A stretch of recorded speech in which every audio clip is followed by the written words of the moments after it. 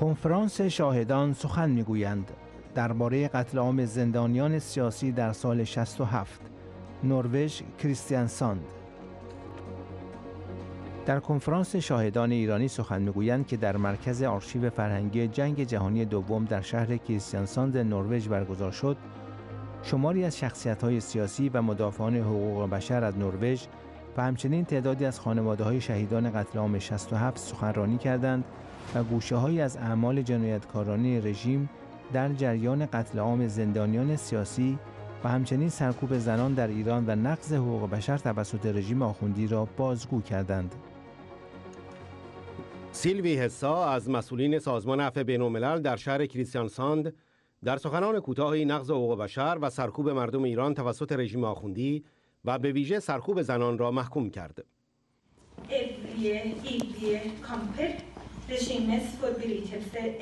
امینه قرایی از خانواده های شهیدان قتل عام 67 طی سخنانی به بازگویی مشاهداتش از جنایات رژیم در زندانهای قرون وسطایی و همچنین خاطراتی از پدرش مجاهد قهرمان مهدی قرایی که در جریان قتل عام 67 به شهادت رسید پرداخت.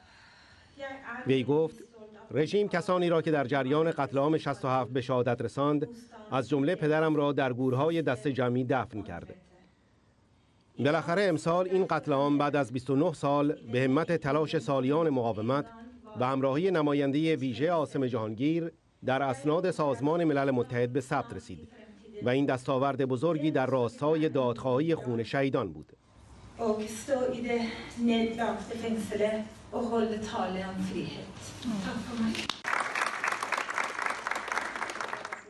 عزت حبیب نژاد که چند سال همراه با کودک یک سالش در زندانهای رژیم در اسارت به سر برده مشاهداتش از جنایتهای رژیم و همچنین مقاومت و قهرمانی های زنان مجاهد در های رژیم را بازگو کرد.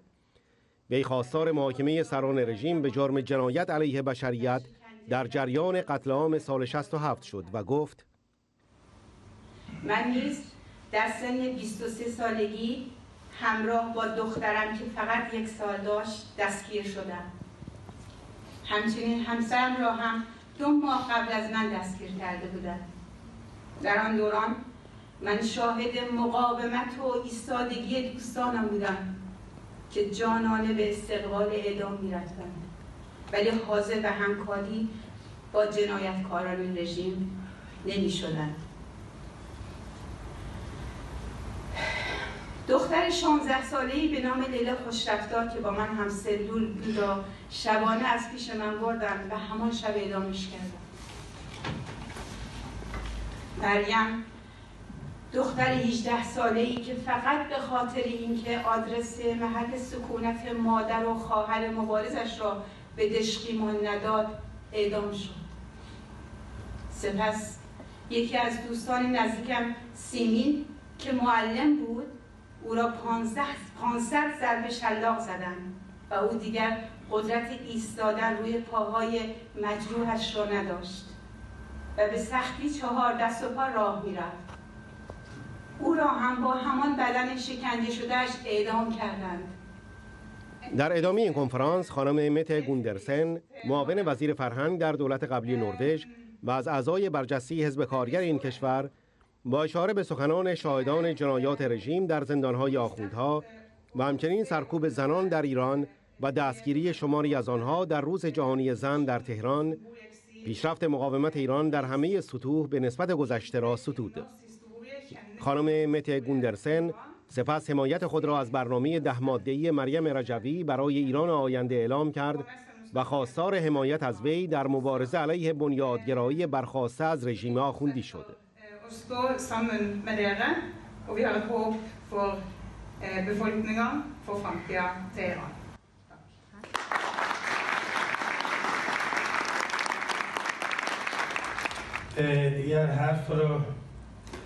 Att bara se lite om پرویز خزایی نماینده شورای ملی مقاومت ایران در کشورهای نوردیک سخنران دیگر این گرد همایی بود.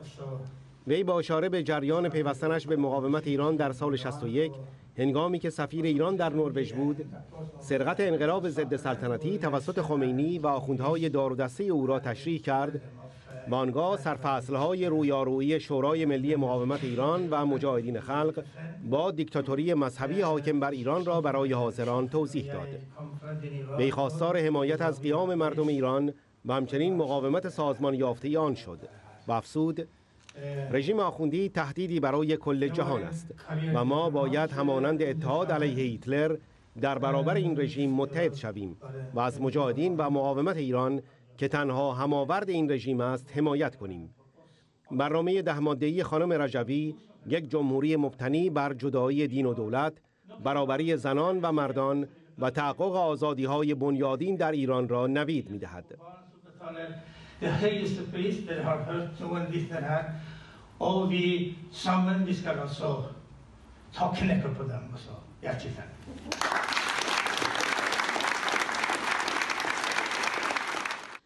اصل گیوچیان سخنران دیگر این گرد همایی بود وی با یادآوری زن ستیزی و قوانین ارتجاعی رژیم آخوندی علیه زنان ایرانی گفت زنان در مقابل تبعیض جنسیتی که در تضاد با حقوق پایه‌ای آنهاست مبارزه می کنند.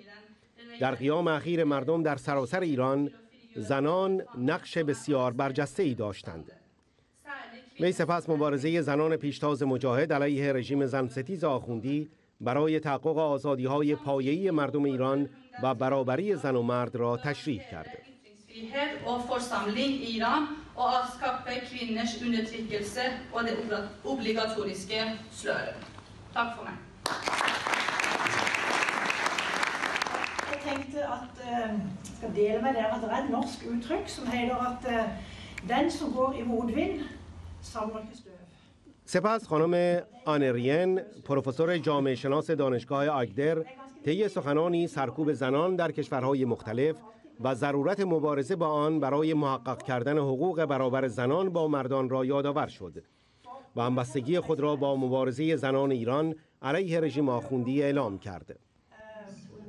در پایان این کنفرانس یک برنامه هنری توسط دو تن از هنرمندان مدرسه فرهنگ و هنر شهر آگدر نروژ اجرا شد.